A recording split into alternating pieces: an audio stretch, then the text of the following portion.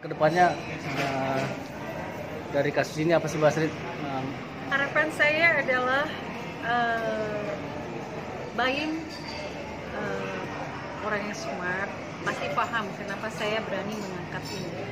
Ini sangat uh, orang bilang ini masalah politik, orang bilang, tapi saya bilang ini bukan masalah politik karena tidak ada kaitannya dengan pihak partai atau siapa pun petinggi partai saya hanya berurusan dengan personal Mbak Wong Perdana. Jadi saya tidak mau ini dikait-kaitkan dengan politik karena tidak ada urusannya buat saya. Tidak ada urusan dengan partai, tapi saya pribadi ke Wong. Jadi tolong juga persepsi masyarakat, penonton, apalagi netizen, jangan terlalu uh, mengembangkan ini atau pemikiran yang sangat berkembang menjadi sesuatu polemik. Tolong ini masalah saya terhadap Baim, saya hanya minta komitmen pertanggungjawaban dan saya hanya minta hak saya yang mana di dalam hak saya ada hak-hak orang lain termasuk tim saya ini Reza, Izzy dan lain-lain. Itu aja sih.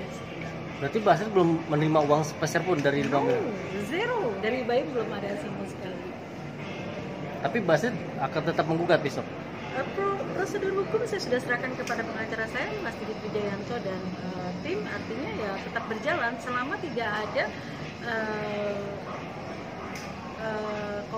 konfirmasi atau verifikasi dari Baim mau mau dibawa ke mana nih gitu loh. Artinya saya sih sebenarnya orang yang tidak sangat kaku-kaku banget tapi saya juga tidak mau nanti disangka orang pansos lagi. Dan disangka orang cuman ah itu mah cuma sesuatu yang mengadakan enggak kita nggak ngada-ngada. Ini real. Ini ini benar terjadi. Dan e, pemerintah saja sangat menghargai pekerja